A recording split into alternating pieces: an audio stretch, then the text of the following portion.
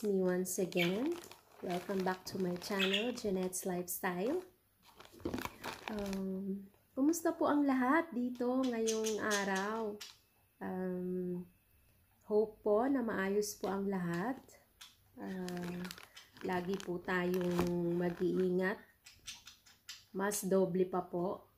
Especially that um, yung pandemic po ay nandito pa rin sa ating uh, bansa, yeah. So, all we need to do po is uh, keep hoping and praying that uh, maging maayos po ang lahat at uh, matapos na po itong crisis na ating uh, ginagalawan sa ngayon. Okay? So, anyway, guys, uh, for my today's uh, episode is that uh, I just wanted to share to you about uh, uh, the phone that we have uh, bought for our second born. Actually, this is uh, an advance uh, Christmas gift. And yesterday, uh, it has uh, arrived already so i'm just excited to check it if it's really good yeah so here it's uh, delivered by DHL yeah which is one of the best uh, courier. Yes so let's check po unbox.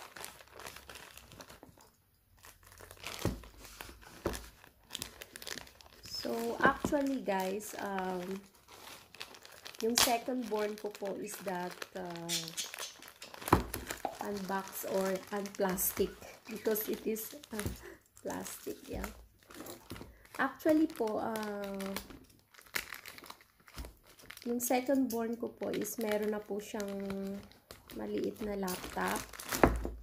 Kaso po, pag nagbabiyahe po kasi kami, hindi po siya practical dalhin dahil medyo po mabigat, yeah, something like that. At kami din po dinadala din namin yung laptop namin. So, it takes space as well. So, that's why uh, nag-decide po kami ng dada niya na bilhan na lang siya ng uh, simple pero practical na phone para po madala po namin pag nagbabakasyon po kami sa ibang bansa uh, na very practi practical pong dalhin at uh, yun po uh, maliit lang siya. So pwede po siya talaga sa luggage not, la not like laptop.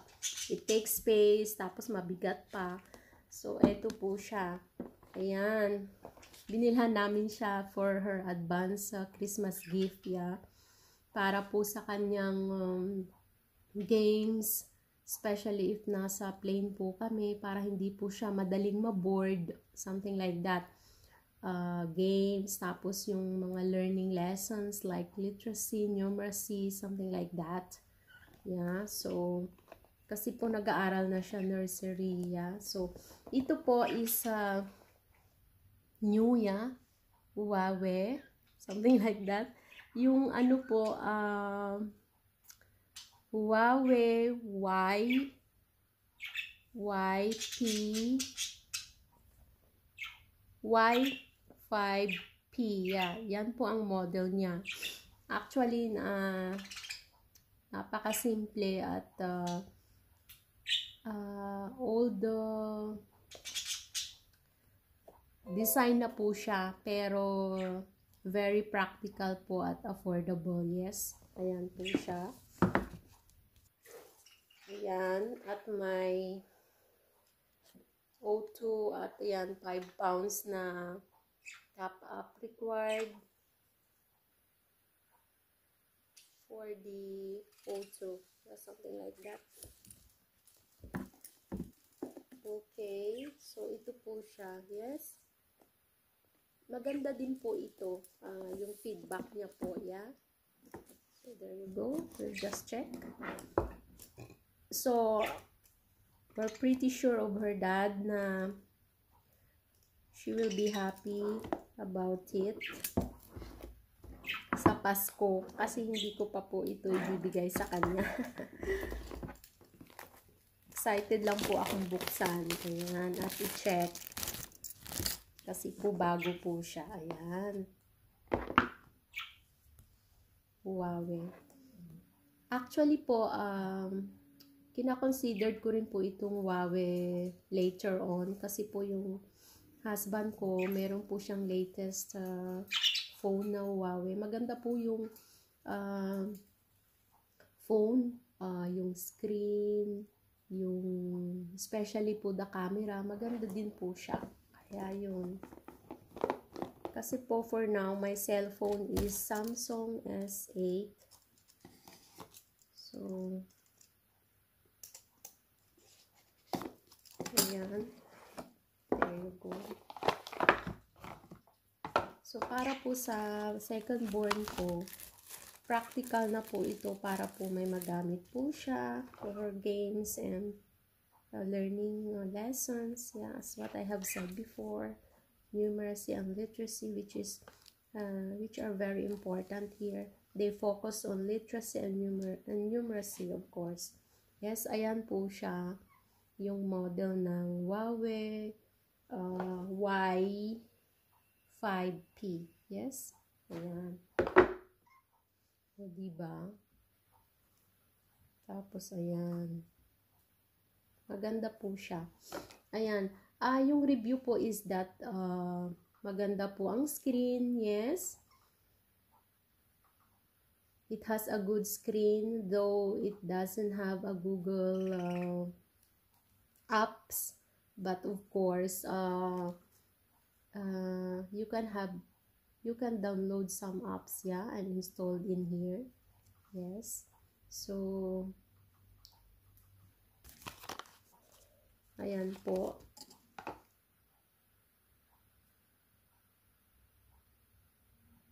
Maganda po siya. Ayan kompleto may charger something like that. Yes. Ayan. And of course the earphones as well. Yes. So not bad po for a very affordable price here yes. And of course it's very new yeah. So uh, I highly recommend din po ito sa inyo especially po if uh, para po sa mga anak nyo na you know gusto nyo gusto nyo pong uh, magkaroon niya na kahit hindi po siya ganun kamahal para lang po like meron po silang games or uh, mapag uh,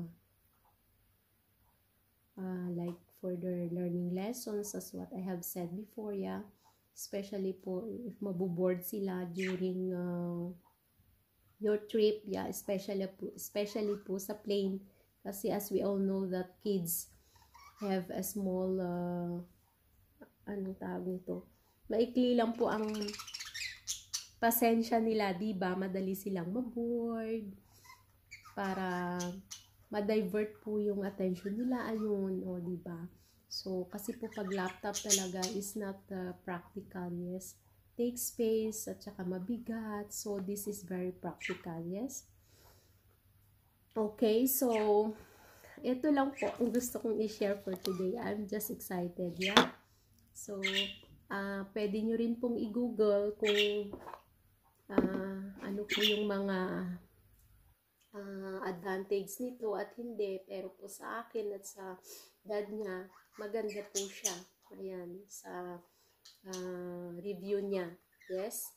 So, ayun lang po. So, um, hope you guys enjoyed watching for my this uh, quick uh, unboxing of mine yeah with regards to this Y um, Y uh, 5P uh, model yes so magkita-kita po tayo uli once again and Have a nice day po and stay safe lagi po. Mag-ingat po tayong lahat and of course, uh, keep praying po uh, na matapos na po ang uh, crisis na ito sa ating uh, mundo. Yeah? So, once again, uh, thank you for watching and if you are still new to my channel, please don't forget to like, comment, and subscribe as well. And please uh, don't uh, forget to click the bell button for you to be more updated for my new videos to come, okay? So once again, thank you for watching and it's time for me to say bye for now. Love you guys!